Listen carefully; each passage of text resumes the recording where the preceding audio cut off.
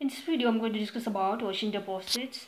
So these are unconsolidated, unconsolidated sediments derived from various sources deposited at the sea floors are called ocean deposits. The sources, main sources are terrigenous sources which are which is derived from the continent and volcanic eruptions. So it could be oceanic or continental volcanic eruptions, the marine plants and animals and decomposed marine plants and animals. So these are the major sources of oceanic deposits. So classification on the basis of sources of on the basis of sources of sediments it can be classified into terrigenous sediments, volcanic matter and deposits, biotic matter and deposits, abiotic matter and deposits. So terrigenous deposits, first let's see terrigenous deposits. The main source of terrigenous deposits of continental weathering. Because of the continental weathering, disintegration and decomposition of rock is taking place. Because of that, the size of the rocks and sediments becomes less. So it can be easily transported. Trans it can be easily transported via flowing river like river, rainwash, etc. They are acting as a transporting agent to transport these sediments. Form of sediments, fine to coast sediments and coastal sediments are deposited near the coast. Near the coastal region, fine sediments are deposited. Uh, coastal core sediments are deposited, whereas fine sediment size of the finer sediments is less, so that can be easily transported into the sea.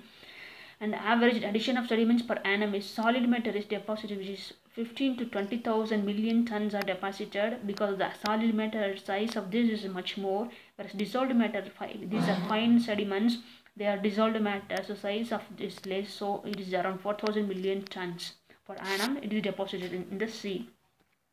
On the basis of size composition and chemical characteristics they are divided into gravels sands and muds so gravels which has a diameter of 2 mm to 256 mm which are larger in size and further disintegrates by wave action. The subtypes of gravels are boulders which is of 256 mm, cobbles which has a size of 64 mm and pebbles with a 4 mm size and granules with 2 mm size. So the gravels can vary in different sizes. So depending upon the size we can classify for them to boulders, cobbles, pebbles and granules sands which has a diameter of 1 mm to 1 by 16 mm. The subtype subtypes are very coarse sands coarse sands and fine sands. Very coarse sands has a 1 mm size and coarse sands is 0.5 mm. And medium sands will have 0.25 mm and fine sands which is 0.25 mm. And very fine sand sediments so they can have a 0.0625 mm size. Then silt clay and mud. The diameter of this 1 by 32 mm to 1 by 8192 mm so they are very very finer sediments. So mud is finer than the clay. Mud types on it can be classified on the basis of color. So blue mud red mud green mud. So blue mud derived from the rock rich in iron sulfide and organic elements. These are found at the depth of continental shelves and contains 35% of calcium carbonate whereas red mud derived from the rocks is rich in iron oxides and contains 32% of calcium carbonate.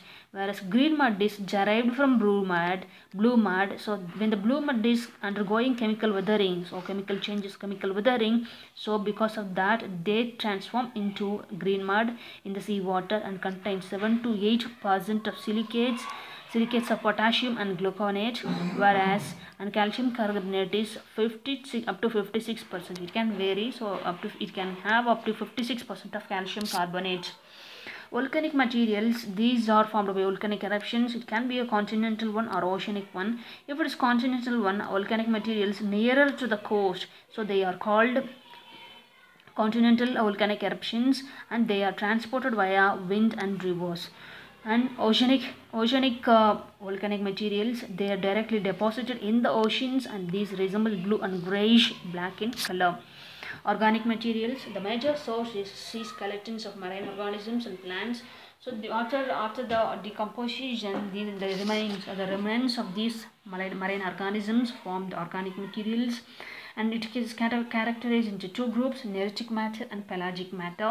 Neritic matter includes skeletons of marine organisms and plant remains like shells of mollusks and skeletons of radiolaria spicules of sponges calcareous siliceous plant remains. These are subjected to decomposition and chemical changes so they are changed into mud and sand and deposited in seafloor so this neritic matter is further subjected to decomposition and chemical changes and they are they again transformed into finer sediments and sands and they are deposited into seafloor Next, pelagic deposit. They consists of matter derived from algae are mostly in the form of liquid mud and generally known as oozes. It is characterized on the basis of lime and silica content. So these are characterized on the basis of lime and silica content. So calcareous ooze, which has calcium more and dissolves at depth, found at sea floor at the depth of 1000 fathoms to 2000 fathoms. And subtypes are it has pteropod formed of floating pteropod mollusks, thin conical shells, and which has thin conical shells and found in tropical oceans contains 80% of calcium carbonate, whereas Globigerina ooze formed of shells of foraminifera or form and they are formed of gems called globigerina and found in tropical and temperate oceans at the depth of 1000 to 2000 fathom.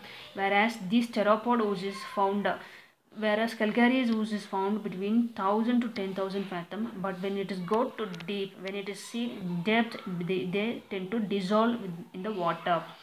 So these globi these Globigerina ooze, they are found between 1000 to 2000 fathom and contains calcium which is of 64.46% because here this pteropod which is found which is above the above this uh, shallow waters we say 1000 fathoms which have more calcium carbonate at the deep when we go to deep it is going to dissolve. This calcium content is going to dissolve. So because the calcium content decreases slowly so calcium is 64.46 percent.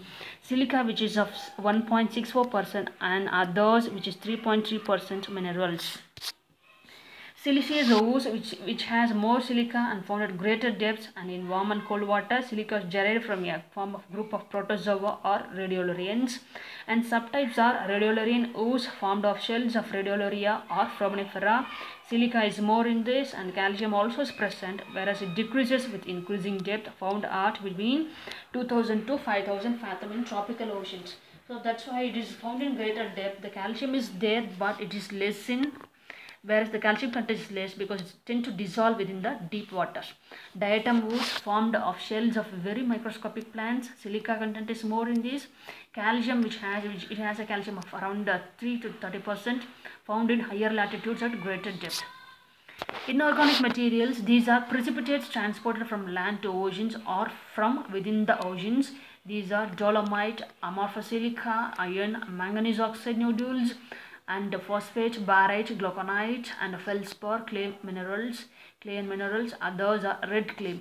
So this is important pelagic deposits, covers largest area of sea deposits, contain more radioactive elements. So this red clay is more important because it has more radioactive elements in it.